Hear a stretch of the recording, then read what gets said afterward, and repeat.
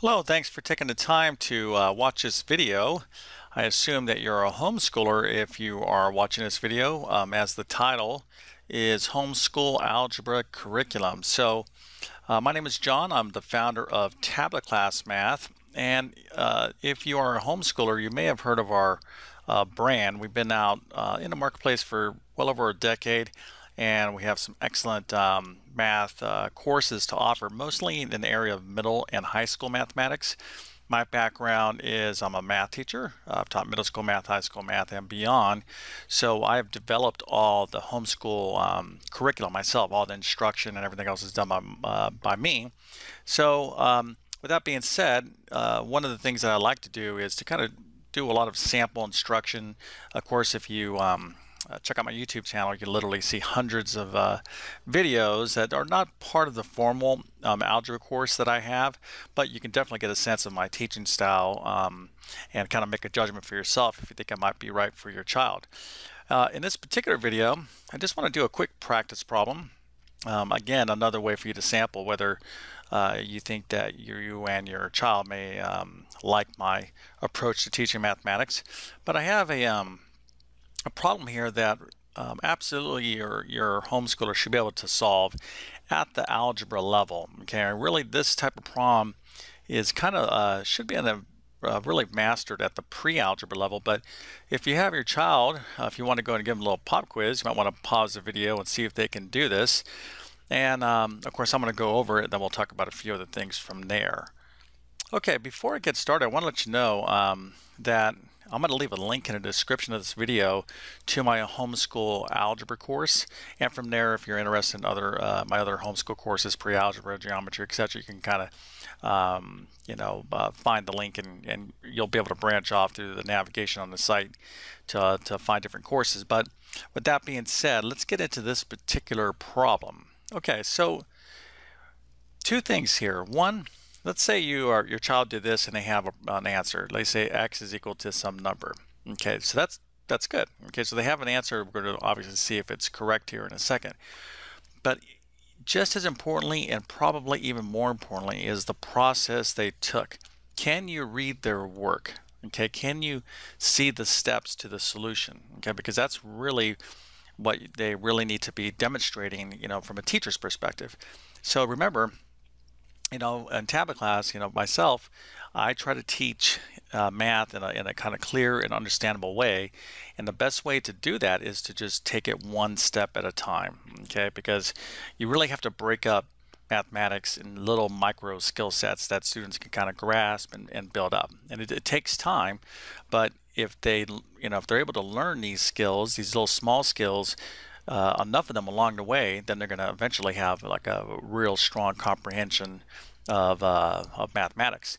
And at the middle school and high school level, there's just so much new stuff coming their way that they really, you know, it's it, it becomes very difficult to keep up if your child misses some really important skill that they're going to need. Remember, math does definitely builds upon itself, and you, uh, sometimes you don't see the consequences of not really learning something until later uh, down the line.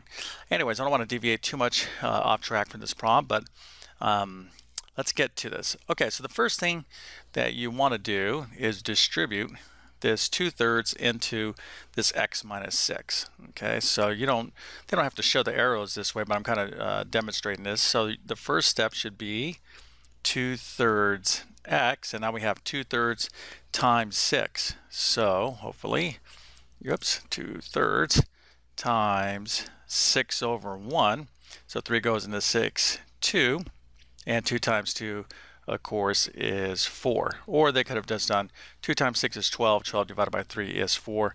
As long as they have this as their first step, then that's good. So you want to see 2 thirds x minus 4 equals 10. That's really what you want to see as the first step uh, in the solution to this problem. At this point, we're solving a basic linear equation, and the idea is we want to get the variables on the left-hand side of the equation, uh, variable terms, and there's only one in this case. So 2 thirds x is on the left-hand side of the uh, equation symbol here, so that's good. What we need to do is move this negative 4 and put it on the right-hand side of the equation. And the way we do that, we're going to add 4 to both sides of the equation. Okay, so this was going to look like this now. Then we're going to add down, okay? Kind of always kind of add down in a column manner. So we get 2 thirds x plus nothing, so that's just going to be 2 thirds x equals, now I wrote this kind of over to the side here because I know that a negative 4 plus a 4 is 0, so there's not going to be anything there. And remember, I wanted to get rid of that negative 4 on the left-hand side. But one of the main concepts when you're solving equations is whatever you do to one side of the equation, you can do whatever you want to one side as long as you do the same thing to the other side. So if I can, if I add 4 to the left-hand side, and I wanted to do that to get rid of this 4, I have to add 4 to the right-hand side. It's very much like a balance scale, right? I could put four pounds over here and the thing's going to go this way, right? Uh, but if I put another four pounds like this, it's going to get back in balance. Same idea in mathematics when we're solving equations. Okay, so we have 10 plus 4 is 14. All right, so hopefully, you know, you're, you're able to kind of read the steps of what your child um, has done. And we're at 2 thirds x is equal to 14. So what do we do now? Well, to solve this basic equation, we want to, there's two ways to kind of think of this. You want to divide this number in front of the variable by itself. So this is 2 thirds. We want to divide both sides of the equation by 2 thirds. So that's one way we, you know, um, can look at solving this problem. This will get us to the, uh, this will get us to the solution, but a better way to deal with this type of problem is we have a two, the two-thirds x. We're going to be doing the same thing uh, mechanically is what I just showed you. Okay, but the best way to handle this when we have a fraction in front of the x is just to flip it upside down. So that's going to be 3 halves and then we multiply. Okay, but again, if I'm going to multiply the left-hand side of the equations by 3 halves, I got to multiply the right-hand side of the equation by 3 halves because this effectively is going to do the same thing. This is this is going to be just 1, right? We're going to get 6 over 6 or just 1x or x. And now here, I'm going to end up with 14 over 1 times uh, 3 halves. So 2 goes into 14, 7. 7 times 3 is 21. So this is our final answer. And hopefully, you know, if your if your child got this correct, if they're following along and they understand, then that's fantastic, okay? Equations, and this is what I would consider a very basic level equation in algebra, uh, something that should have been mastered in pre-algebra, but equations are such a huge part of um, the algebra sequence, okay? So when you look at algebra, we really kind of have to think of it as pre-algebra, continuing on in algebra, on, algebra 1, and continuing on even to algebra 2. So this is really like one big course that's kind of broken up because in Algebra 1 we're going to relearn a lot of the concepts from pre-algebra. and Algebra 2 we're going to learn a lot of the concepts or review and relearn a lot of the concepts from Algebra 1 and then of course we continue to learn more material in these uh, various courses. But this is really the foundation um, to um, high school level mathematics and beyond. So anyways, I hope uh, you know you enjoyed this video.